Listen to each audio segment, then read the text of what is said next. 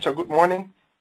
When we look at all the semantic projects that we do with customers in France, it seems that more than half our customers are now doing uh, work uh, with a lot of text and a lot of unstructured data, and it seems that 99% of those customers are already using Solr. Yeah?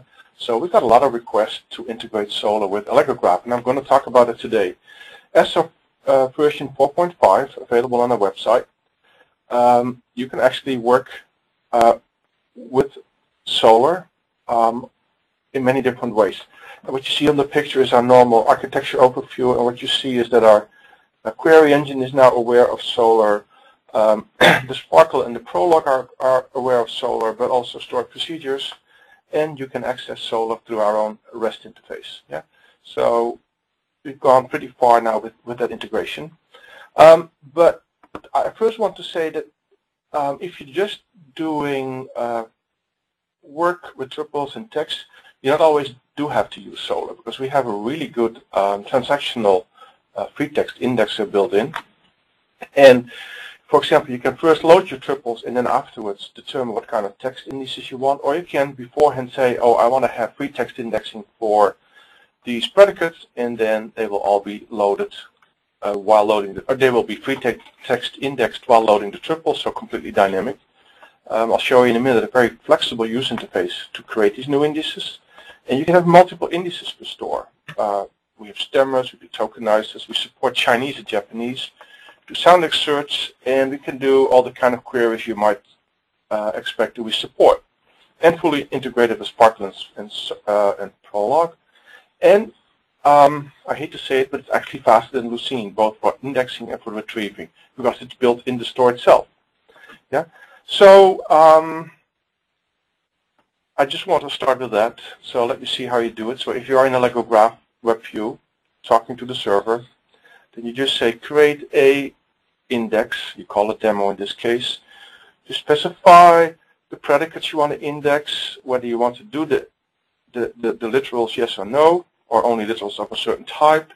You can specify what part of the resources you want to index. Maybe you want to do the full index or only the part after the pound or a slash. Um, you can specify what fields to index, minimum word length. You can have stop words. You can have word, word filters. And when you're done, you will have a, uh, a text index. I can click on queries and do a text query. So I would just type in like something like Obama healthcare and fear mongering um, and then do search and you would get all your results here like you normally get in the AllegroGraph. Yeah. Or you can use it in SPARQL, so you can say, give me every text in P where the text matches Obama healthcare fear-mongering, where the text has the government person P, and you would get your results. Yeah. So it's a full-flex text index, but we also realize it's a Solr and Lucene world, and I actually like Solr a lot. So about uh, a year ago, we started with the integration process, and we're now happy that it's now fully supported in the 4.5. Now, I guess that almost every one person on the call already knows what Solr is, yeah, and how it's actually a wrapper around Lucene. Um, that in Solr, it's not just one index, but you can have multiple tags for a particular text or for a particular entry and it's completely REST-based, so it very easily fits into any other architecture. And um, the reason why people like Solr is it supports many more languages than, uh, than we support, and it's a very flexible pipeline architecture for tokenizers and stemmers. So if you are a Java programmer, um, then you can just write your own tokenizers, your own stemmers, um, and whatever you want, and you can link it in the pipeline, and it will work uh, straight in Solr. Um, then many people now want to have, uh, when they search for certain words, they also would like to search on the synonyms of these words. And Solr supports it. You can have synonym lists, and then when you search for word A, you will get synonym B too. Uh, you can do relevancy ranking, so you can say if I look for two words, then the first word, then rank my results based on, for example, the, that the first word appears more higher in the list than the other ones. You can make certain words more important. Uh, this is the feature that I like, find words close together. So you can say find the word party and weekend together within 10 words and uh, you will get all the texts. Um, you can do faceted search. You can apply text clustering algorithms, etc., etc. Yeah, so it's really got a full set of, of wonderful features. And then even if you integrate Solr with Allegro Graph, there still is the uh, the Solr admin page. So just to show you can you can start up your Solr uh, admin page on your local host or wherever your Solr is. You type your query string, and here you see how you normally get your results back from Solr as XML. You see the query you did, and then you see all the documents with their ID that contains the thing that you were looking for. Um, just to give you an idea how powerful Solr and Lucene queries are, are I, I, have a list here. Yeah. So if in your Solr document you give uh, you have multiple tags per entry, then you can search in, in both. So you can say, give me from all the titles the right way, and from the main text the word go. You can use wildcards. Um, you can do fuzzy search. So if you say Rome and then tilde, then it probably will return both from and Rome's. If you would do Rome 0.8, it might give you only one word back. Uh, you can say, give me all, you can do proximity search. You can say, give me all the texts back that have Jakarta and Apache within 10 words. You can search within uh, date ranges, uh, alphabetical ranges. Here you see some examples of boosting, where the word Jakarta is more important than Apache. Um, you can specify if something has to be included or should not be included, etc., etc. Yeah, so a fairly uh, powerful query language. Okay, so let me start with some demos. Or, and the first demo is uh, actually the typical kind of project um, that our customers do. Yeah, so, and the example that I'm going to show is uh, we started with creating a database of federal politicians, uh, people that have been in my webcast have seen this demo before. You spider all the news sources for each politician each day. You get a bunch of text back from the web. Um, you take each text and store it both in Solr and Allegro Graph. You make sure that the Solr entry has an ID tag and Allegro Graph has as a predicate called Franz has Solr ID and they both refer to the same number. And then the next step, we extract all the entities from the text, like places, people, organizations, and dates, and we link these entities to the linked Open Data Cloud and to the politicians database. And then we can do fairly rich semantic queries over the total set of data, whether it's in Prolog or in SPARQL 1.1. So let me show that. So here's the um, here is the um, graph, which is official interface um, on top on top of Allegro Graph. So everything full text indexed. So I can say look for Diana Feinstein, and here's Diana Feinstein, and I can look at the triples for Diana Feinstein, and you can see I've got a lot of metadata, like the current committee she's on, uh, um, the education she had, the, her faith, her family life, and all the text that appeared in a certain day, and I could click on the text, and then you see the things that we got with an entity extracted out of the text. So, for, for example, this is the this is the government people that I found in the text, um, some important words in the text, some organizations that I found, um, some places that we found in the text, etc., etc. Yeah. So I hope you get an idea of what we have in the data. And then when we do queries, Oh, I thought I had the query here.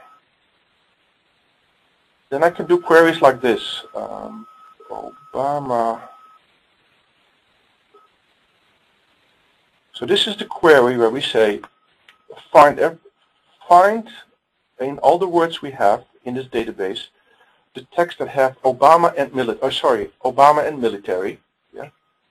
Uh, by the way, this is in Prolog, and after this I will do a, a SPARQL example. But here we say find every text that has Obama and military, where this text has a government person, P1 and P2, where P1 is a Republican and P2 is a Democrat, yeah, where both people are on a committee, where this committee has the same super committee, we do the query, we get a result, and then we can look at the results. Yeah, so here we look at John McCain and Carl Levin and some of the committees that we have for them.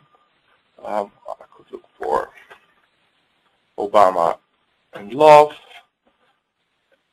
and we get a completely other set of people here, and probably also a whole bunch of other committees, etc. Yeah, so this is one simple example of how you start your query with the Solr query, and then you continue with doing queries over the entities, entities that you extracted out of the text. Um, and this is the, the template that we see most often. So we go back. So as I said, this is the pattern. We have spiders that are intelligently controlled to go out to uh, the web, email, internal documents, etc. Using text extractor, maybe we translate it, uh, we classify it, we put it through an entity extractor, and then we put the stuff in a graph and Solr in Lucene, yeah, where we also link the entities to the linked open data cloud. So that's roughly the architecture that we see. This is the query. I just put it in this presentation because we'll put this presentation on the web so you have it available. Then the second demo, which is a, a in this case a, a much larger data set, it's the Enron database. I guess that uh, at least all the American attendants know what Enron was. It's a, a, a company in California in the energy business that uh, tried to make the California energy users happy. And we have about 500,000 emails from about 150 people. Um, those emails were collected in the in the lawsuit. Uh, we store every email both in AllegroGraph and Solr, and let me give you some examples. So where's my here? So I go to um,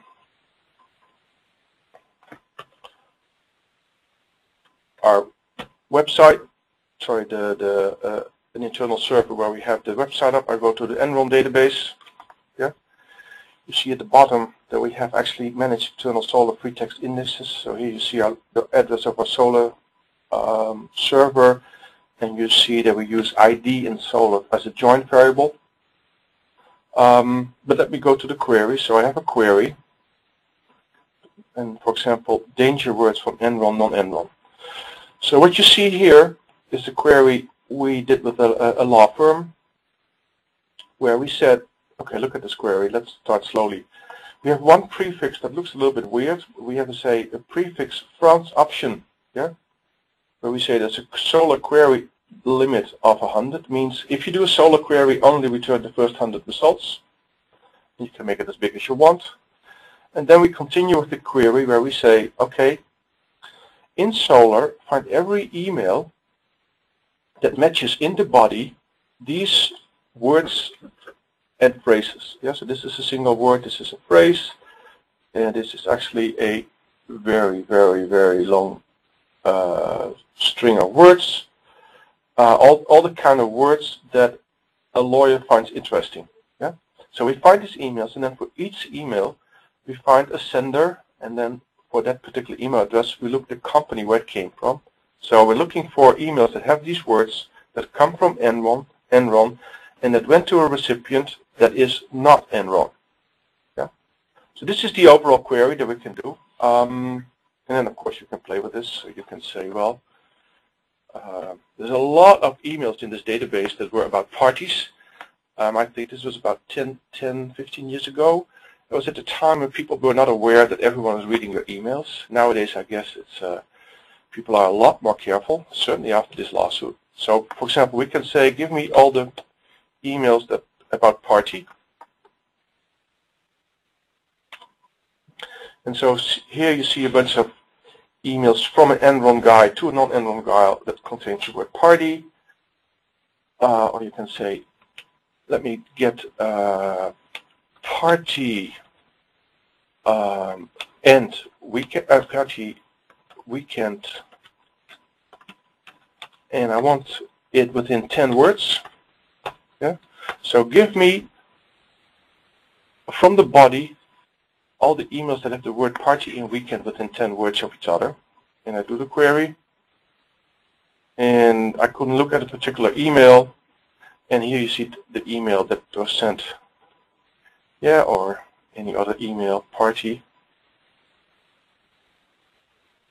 Anyway, I, I guess you get the point. You can look for words like um, give me from the body ener energy. Well, probably won't get anything, although, oh, someone misspelled energy. But in general, okay, let me make it worse. Yeah, energy. So we know one that misspelled en energy, energy. Ah, okay. So now let's turn this into a more uh, fussy result. Yeah, now you see that somehow someone did inner oh yeah energ1.doc so here is something that kind of fuzzily works with energy. Yeah. So yeah I could go on and on but I already showed you in PowerPoint all the kinds of queries you can do. But I also hope you see the power where you on the one hand match against all the text. So this of course could also be the subject of an email or the sorry don't know let's see if this works yeah, so here's some things where, where subject is in the email, where the, this uh, misspelling of energy is in the, in the in the subject header, etc. And then you continue with the things that you with the meta information about the email. All right. So now, what if you want to do this yourself? Uh, let me see. How do I go back? Yeah. So if you want to play with this yourself, then the first thing is you install Solr 3.5. I think slightly earlier versions and certainly the later versions all will work too. It's fairly stable. Then you create a schema for the predicates you want to use in Solr. So for Enron, this is what we used. Uh, for this is an important one, like the ID, because that's we use the um, the joint variable. We say it's a string, it's indexed.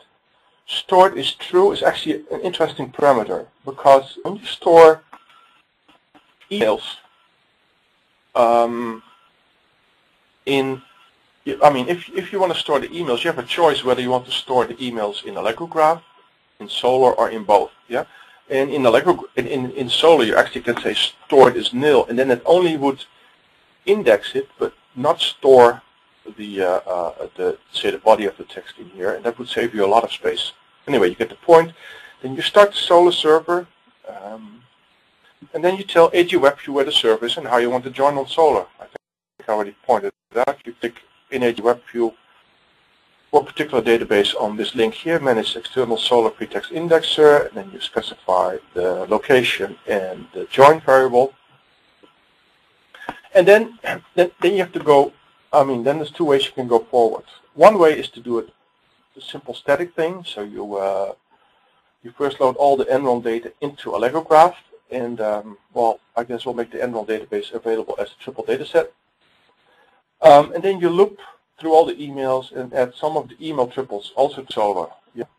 Important, you match the Solr ID so to uh, the, uh, uh, the, the, the, the, triple in Allegro graph. Yeah. So in Solr, you add ID 1200 ID, and in um, Allegro graph you say Franz text something has the Solr ID 1200, and this makes will make sure that things work together. what we found that if Solr is slow, then it really helps in Linux set the limit to at least 100,000. And um, please don't add one email at a time because that's really slow. So we found that the optimal rate for us for this Enron data set was to do about 100 emails per Solr commit, and we did in Solr optimize per every 50,000 emails. Yeah, so this is the typical format for how you add something. You have this tag add, and you get a dog, and then you, a, a doc, and then you get a bunch of fields, and then the add again. You can do it as JSON too, or okay. Okay, so the first way to, to do it is just a simple static, but of course in real life what usually happens is that things come into real time. So I just want to point out that we haven't yet made it completely automatic yeah, to store both things in Solr. I'm just too afraid I mean, there's too many things that you have to do with Solr, yeah, and we don't want to be responsible for that yet. And so you as the programmer are responsible for one, doing the transactions both in Solr and Allegro Graph and check if both succeeded. Um, and we can and, and just give us an email if you want to help with that. And you as the programmer have to keep track of the ID number. So that's if you want to do it the dynamic way. Any questions? And yes, I'll, the most important question that I know you'll ask is, uh, can you make this automatic? So again, I already gave the answer. We'll make it more automatic in the future. Tell us how you want it, but please realize that you are probably in the future go remain um, um, responsible for um, your whole Solr setup. Okay, question, Steve. Let me read it. Yeah. It's both from the same. Uh, the first question is, will a recording be available later? Yes.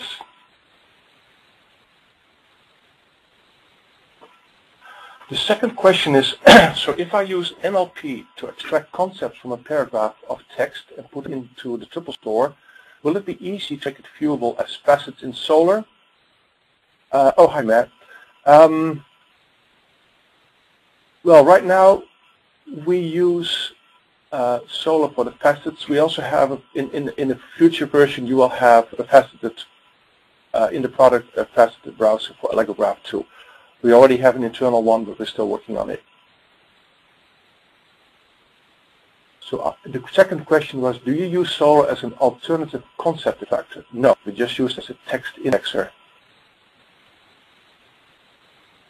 Then the other question is, what if I already have several Solr instances and I want to link that to data in Graph? Um, so yeah, that's another way you can do it. You can first load all your data in Solr and use that as your main repository. Then you just loop. So I'm assuming that you have some tag that is kind of unique, and that I hope it's a, something like an auto increment, so you can loop through it, and then you would just retrieve all those from Solr, do your say your entity extraction or whatever you want to do, and store the metadata in AllegroGraph. Another question is, not quite understanding how it works at runtime. Is AllegroGraph generating the Solr query after parsing the SPARQL and sending it to Solr? Well, actually what happens is in SPARQL you see this thing called Solr uh, column match, which is a magic predicate. So basically what happens is that what SPARQL does when it parses the query, it sees that line, says, oh, this is a, a magic predicate, it will, for Solr, so it will pass the entire string to Solr, It will get a bunch of IDs back, and then the Legend graph will translate those IDs in the um, the numbers that we put on the predicate uh, Franz has Solr ID. Probably could have explained that better, but I hope you get the idea. The other one is what would it take to do a similar integration with Attivio or Elasticsearch? Uh, that would be very, very straightforward. Yeah, that would be, um, I mean, just for us or, or, or, to do something for you, that would just be a few days of work uh, because it's just, well, probably the same principle that we use for solar. Okay? Let's keep it at this. Okay, thank okay. you, Hans.